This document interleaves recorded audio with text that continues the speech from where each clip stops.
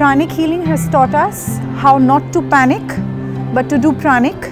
My three year old daughter was burnt with hot tea and um, I did pranic healing on her.